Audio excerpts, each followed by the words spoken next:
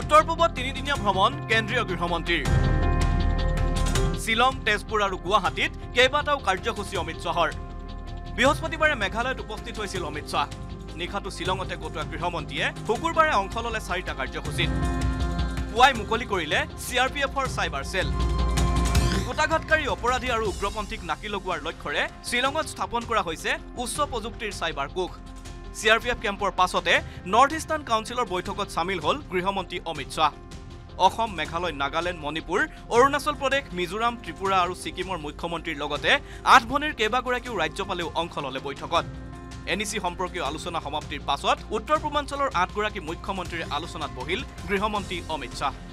নিৰাপত্তা আইন শৃংখলা উন্নয়নকে ধৰি বহু বিষয়ত আঠখন ৰাজ্যৰ মুখ্যমন্ত্ৰীয়ে আলোচনাৰ পাছত উমিয়ামত থকা নৰ্থ ইষ্টাৰ্ণ স্পেচ এপ্লিকেশ্যন চেণ্টাৰত উপস্থিত হ'ল অমিত শ্বাহ।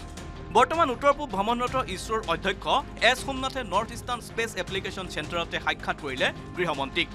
মহাকাশ গৱেষণাৰ নৱতম পৰিকল্পনাক লৈ সোমনাথেৰে আলোচনাৰ পাছত শ্বিলং এৰিলে অমিত শ্বাহে।